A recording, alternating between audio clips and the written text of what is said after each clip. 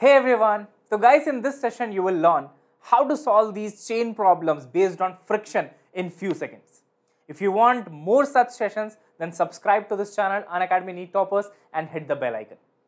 तो बच्चों इस क्वेश्चन में आपको क्या गिवन होता है ऐसे चेन प्रॉब्लम्स में आपको ये गिवन होता है कि what is the maximum length और what is the maximum fraction of length of chain that can hang without making the chain slip on the table मतलब अगर आप चाहते हो कि ये चेन जो है वो टेबल के ऊपर ऐसे ही रखी रहे तो आप कितना मैक्सिमम लेंथ इसका हैंग करा सकते हैं? What is the maximum fraction of length that can hang over the table तो यहाँ पे सिंपल सा कंसेप्ट होता है, जो फ्रिक्शन फोर्स होगा guys that will try to keep the chain on the table right everyone तो यहाँ पे आप देखेंगे, अगर मैं फ्रिक्शन फोर्स की डायरेक्शन बनाऊँगा तो देखो, यहाँ पे चेन जो है वो नीचे आना चाहती है। Because this part which is the hanging portion of the chain is trying to pull it down right ये जो ये जो वेट है ये इसको नीचे लाना चाहता है। सो so, यहाँ पे कुछ तो एम का फॉर्मूला होगा। We will see that how much will be that तो ये इस चेन को नीचे लाना चाहता है but the friction acting between table and the chain will try to keep the chain on the table it मतलब बेसिक आइडिया ये है कि जब इक्विलिब्रियम का सिचुएशन होगा दैट मीन्स जब चेन रेस्ट पे है और जब मैक्सिमम लेंथ यहाँ पे हैंग कर रही है तो जो मैक्सिमम स्टैटिक फ्रिक्शन होगा how do I write now the maximum static friction बच्चों? Maximum static friction is given by mu static into normal force, right? Static coefficient of friction multiplied by normal force, ये balance होना चाहिए weight of the hanging portion के साथ right right? तो यहाँ पे कुछ वेट जो हैंग कर रहा है।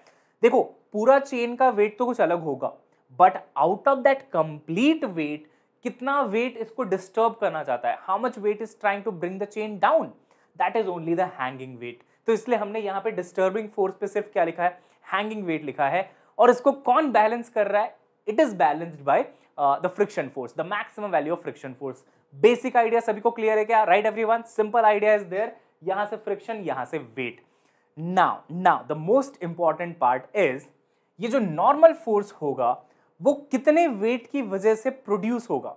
This is another interesting thing now see how much weight is producing the normal अगर आप देखेंगे तो टेबल के ऊपर चेन का पूरा लेंथ नहीं रखा हुआ है only some part of the chain is on the table और आपको पता है कि जो चीज़, जितना length of chain will be in contact with table only that part will create the normal force यानी कि ये जो हैंगिंग पार्ट है this is not creating any normal force वो टेबल के साथ कॉन्टैक्ट में नहीं है। टेबल के साथ कॉन्टैक्ट में तो बेटा सिर्फ़ और सिर्फ़ ये वाला पार्ट है। If I draw that separately अगर मैं यहाँ पे एक लाइन ड्रॉ करूँ तो यहाँ से यहाँ तक ही नॉर्मल फोर्स लगेगा।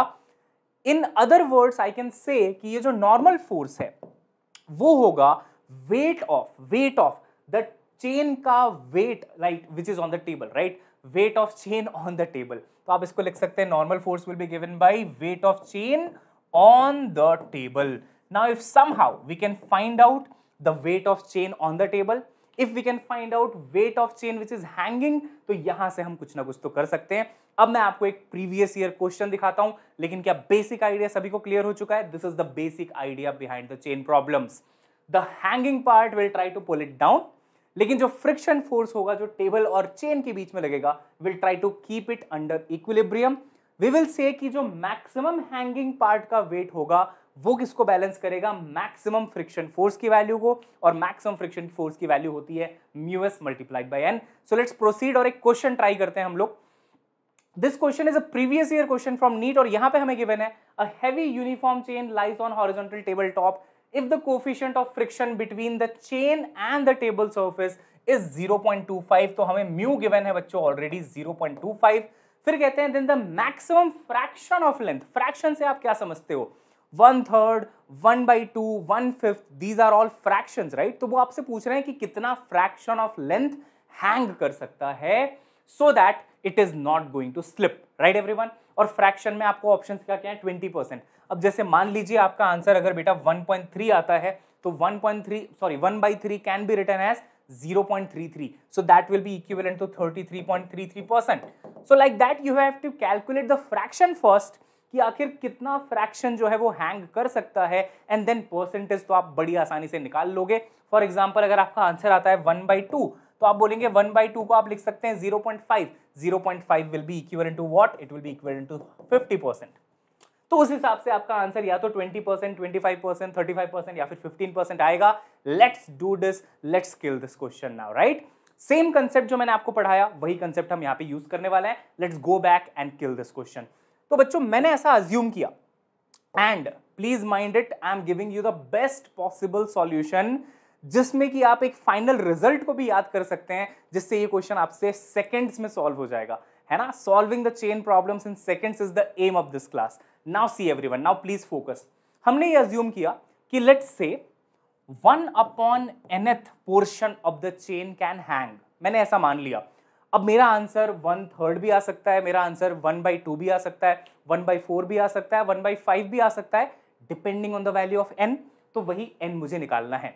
मैंने ऐसा मान लिया कि one upon N fraction of length is hanging here तो बेटा सिंपल सा आइडिया ये है कि अगर पूरे चेन का वेट एम होगा, मान लीजिए पूरे के पूरे चेन का वेट एम है तो one upon nth part of chain का लेंथ कितना मतलब वेट कितना होगा? इतने लेंथ का वेट होगा M G into one by N it's like simple calculation अगर मैं आपको बोल दूँ कि एक चेन गिवन है और इसका वेट है, मान लीजिए डब्ल्यू तो बताइए, आधी चेन का वेट कितना होगा? आप क्या करेंगे? One by two into W यानी कि डब्ल्यू बाई टू तो यहाँ पे वही काम कर रहा हूँ मैं. वन अपॉन एन एथ अब एन की वैल्यू टू भी हो सकती है बेटा थ्री भी हो सकती है. I don't know how much is that but I am just saying कि अगर वो one upon nth part है तो उसका वेट क्या होगा? Simply one upon N into M G that's it जैसे एम जी बाई टू हुआ, बिल्कुल वैसे ही एम जी बाई एन भी हो गया same to same right now अगर one upon nth part hang कर रहा है then how much is the part on the table हम बोलेंगे पूरे फ्रैक्शन में आप क्या कहते हैं? पूरी वैल्यू फ्रैक्शन की तो वन होगी टोटल तो वन ही होगा बेटा। फ्रैक्शन का लॉजिक तो आप समझते ही हैं। One by two one by three है ना? ऐसे जब आप लिखते हैं तो टोटल तो वन होता है। अब वन में से कितना पार्ट हैंग कर रहा है? वन बाई एन तो कितना पार्ट ऊपर होगा? One minus one by N right everyone total one है वन अपॉन एन हैंग कर रहा है तो ऊपर कितना होगा? One minus one by N which can also be written as N minus one divided by N ये है length which is on the top of the table ये है length which is on the top of the table और अगर ये length on the top of the table है बच्चों तो कितना वेट होगा on the top of the table आप बोलेंगे weight on the top of the table will be है ना? दिस मल्टीप्लाइड बाई एम यही लॉजिक जो लॉजिक यहाँ पे लगाया same to same logic right fraction of length multiplied by M तो फ्रैक्शन ऑफ़ लेंथ कितना आ रहा है देखिए? N minus one upon N into M तो यहाँ से बेटा आपने ये निकाल लिया कि कितना वेट टेबल के टॉप पे रखा हुआ है और कितना वेट हैंग कर रहा है। और now this is the equation where you need to put everything together right तो चलिए रखते हैं। यहाँ पे आ जाएगा बेटा mu coefficient of friction normal force normal force इसकी वजह से आएगा, जो कि टेबल पे रखा हुआ पार्ट है। तो normal force will be given by how much N minus one upon N multiplied by M G right this is the weight which is on the top of the table fraction of weight is equal to W hanging weight which is hanging how much is that that is one upon N into M G बच्चों। अब यहाँ से आप देखेंगे M G और M G दोनों तरफ़ से कैंसिल हो जाएँगे। This N and this N will also get cancelled आपको आंसर क्या मिलेगा? देखिए म्यू का आंसर मिलेगा one upon N minus one that's it बेटा। और अगर आप अगली बार ये क्वेश्चन नीट में पाते हैं same question similar question with different values तो सिंपल सा सॉल्यूशन होगा। Mu is equal to one upon N minus one that's it this is simplification at its best बेटा। और हाँ मैंने आपको ऐसा नहीं है कि बेसिक कंसेप्ट नहीं सिखाया। मैंने आपको बेसिक कंसेप्ट सिखाया क्या क्या कैसे कैसे होता है how do we calculate everything सब कुछ बताया।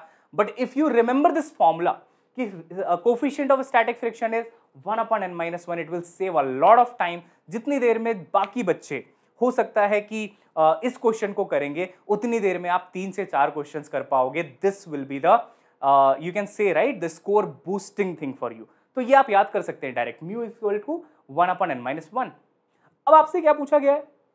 इस क्वेश्चन में हमें दिया गया है म्यू की वैल्यू कितनी बेटा? 0.25 हमने ये फॉर्मुला निकाल लिया mu is equal to one upon N minus one यहाँ पे फॉर्मुले में रख देंगे mu is equal to zero point two five answer आ जाएगा one upon N minus one यानी कि N minus one is equal to one upon zero point two five zero point two five is one upon four तो four ऊपर चला जाएगा right और आपको यहाँ से मिलेगा N is equal to five N की वैल्यू फाइव यानी कि कितना फ्रैक्शन हैंग करेगा? यहाँ पे एन के जगह फाइव रख दीजिए. One upon five is the answer बच्चों. और वन अपॉन फाइव को जब आप हंड्रेड से मल्टीप्लाई करेंगे तो आपका आंसर परसेंटेज में आ जाएगा twenty percent this is the best possible solution for this question just in few minutes और ऐसे ही आपको भी सॉल्व करना है बेटा राइट right? तो yes the correct answer is 20 percent and from now onwards अगर चेन का प्रॉब्लम दिख जाए, और ये पूछ लिया जाए कि कितना परसेंटेज हैंग कर सकता है तो आप सिंपली लिखेंगे mu is equal to one upon n minus one that's it mu is equal to one upon n minus one यहाँ से एन निकल आएगा और उसका मतलब होता है कि one upon nth portion hang कर सकता है right if you like this solution then subscribe to the channel and academy NEET toppers for more such videos यहाँ पे हम बहुत सारे ऐसे क्वेश्चंस को कवर करने वाले हैं फ्यू मिनट्स के अंदर ही, जिसमें आपको थोड़ी परेशानियाँ होती हैं, जैसे कि स्प्रिंग कटिंग वाले क्वेश्चंस ऑब्लिक कोलिजन वाले क्वेश्चंस और भी बहुत कुछ चीज़ें आने वाली है बेटा। Just let me know in the comment box. If you like this session we will definitely continue the series for the right? और हाँ जाने से पहले आप जी जी आई एफ़ कोड लगा के सब्सक्रिप्शन पे अन अकेडमी सब्सक्रिप्शन पे मैक्सिमम डिस्काउंट ले सकते हैं। 10% का डिस्काउंट आपको मिल जाता है बच्चों।